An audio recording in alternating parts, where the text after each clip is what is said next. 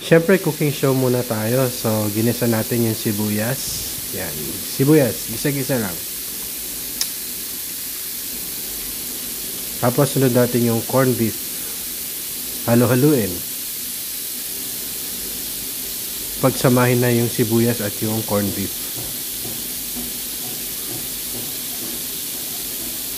Ilagay na rin yung carrots.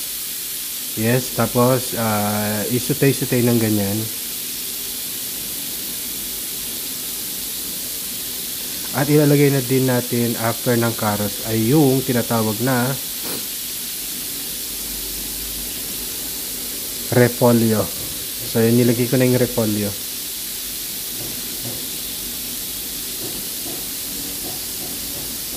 Ayan, tapos halu-haluin na. Pag samasamahin, then luto na, plating na tayo para makakain. So, kain na tayo.